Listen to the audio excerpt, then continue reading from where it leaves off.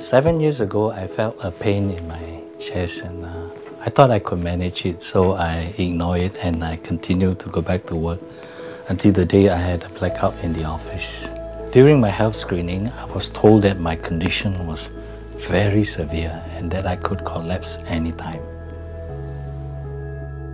Mr. Chua, you've been referred to us for heart surgery to resolve your heart problem. So we're meeting here today to discuss possible options and address any questions you may have. Doctor, I know that my condition is very severe and I need to attend to it as soon as possible. I want to understand what are the treatments that are available. Yes, doctor, we are very worried for his condition and hope to seek your advice. Well, one option you may consider is minimal invasive cardiac surgery, MICS for short. MICS is a set of technologies and skills aiming to reduce surgical trauma and improve recovery in heart surgery patients. The key difference between MICS and classical heart surgery is that MICS avoids splitting the chest bone. The MICS approach involves smaller keyhole incisions on the side of the chest without cutting bones using specialized instruments and cameras. MICS is becoming a popular option for effectively treating the same severe heart diseases. I see. But will this surgery be suitable for me? Well, in general, only some patients with very severe or combined conditions, severe obesity, and some adverse anatomical and vascular features may not qualify for minimal invasive cardiac surgery. MICS can also address a variety of other heart problems such as most heart valve diseases, arrhythmias, as well as coronary artery disease. The main uses for MICS are heart valve problems such as mitral valve leakage or stenosis. Here, the chest is entered through a small incision from the right side and care is taken to set up tools so that perfect access to the heart valve is guaranteed. A second, smaller incision is made in the groin to introduce the heart-lung machine.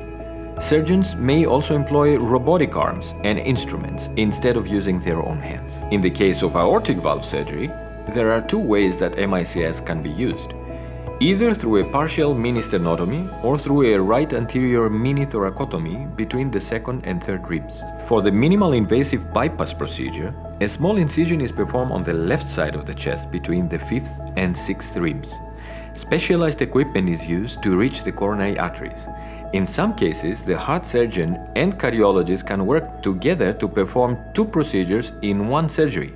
This is called a hybrid procedure.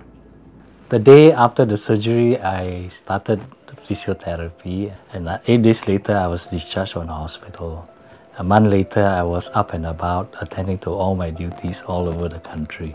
I think this incident had taught me to take responsibility for my health, no matter how busy I am. What may seem like a small issue now can be a big issue later. So I think it is best that we address this issue while it is manageable. Minimal invasive cardiac surgery, or MICS, is not a new type of surgery. It is an established practice now made easier and safer with new technology. We believe that minimal invasive cardiac surgery will become a staple in heart surgery procedures. The benefits of minimal invasive cardiac surgery have been well proven worldwide.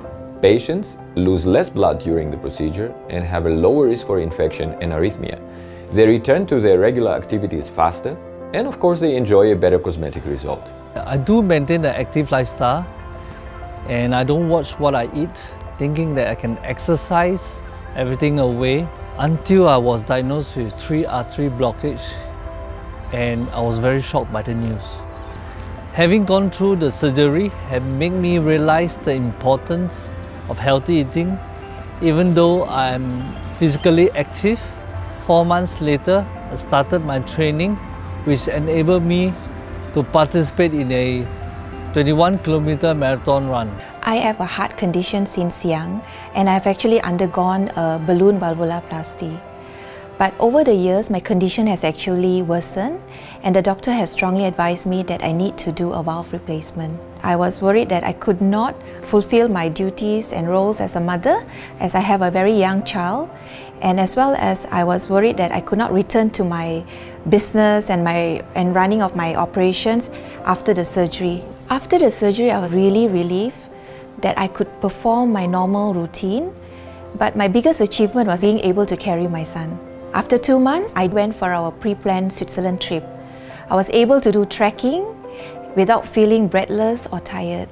Upon returning from my trip, I was back to my normal work routine, managing my restaurants and my accounting firm. Minimal invasive cardiac surgery has its advantages and is available in Singapore. But it's not the only way to perform heart surgery. Some patients may not qualify. Median sternotomy, which means opening up the chest bone, is still a safe and efficient way to perform heart surgery. Remember, the main aim of heart surgery is to benefit the patient with a good and durable result. So please do ask your doctor whether you qualify for minimal invasive cardiac surgery or to refer you to a center with relevant experience.